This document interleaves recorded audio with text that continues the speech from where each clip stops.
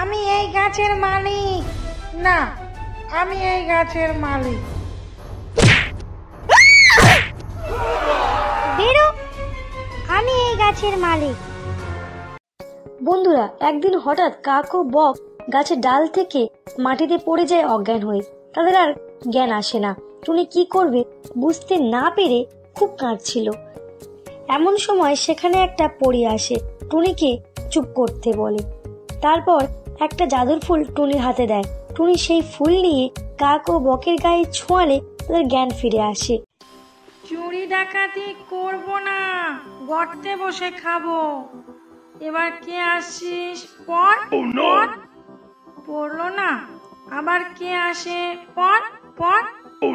কেউ পড়ল না আর কে আসে পর পর?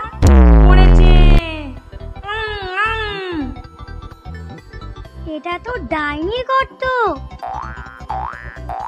ওরে বাবা কি গন্ধ! আমি তোকে ছাড়বো না টুনি।